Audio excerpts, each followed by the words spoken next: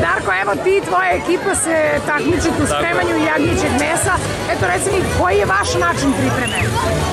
Tradicionalno na ražnju.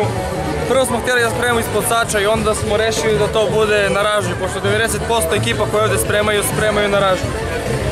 Da bi bili konkurentni, spremamo i mi na ražnju. A, trudimo se da zadržimo da ništa ne premazujemo svinskim, svinskom mašću i tako na to. Znači, strogo samo nešto što se tiče za jagnje, da bude od jagnjeta.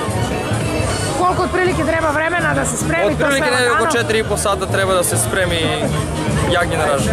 Znači, vi ste ranom zorom bili, ovde već na zadatku. Jutro su 6 sati smo bili ovdje. Odlično, da li se nadate pobedi? Pa prvo mjesto je naše, to se zna.